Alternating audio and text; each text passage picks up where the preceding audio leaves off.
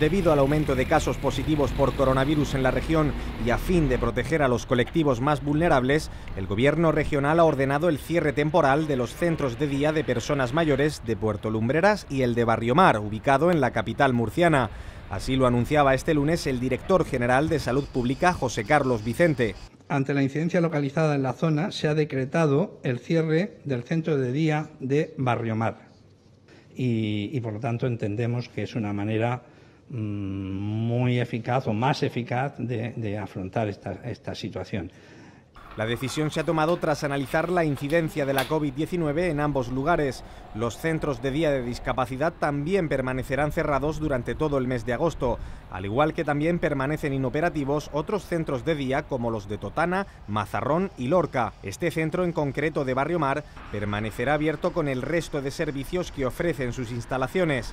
Desde el Ejecutivo Regional, a través del Instituto Murciano de Acción Social, han informado que seguirán tomando todas las precauciones que se estimen oportunas para combatir el coronavirus, siempre de acuerdo con las recomendaciones del Servicio Murciano de Salud.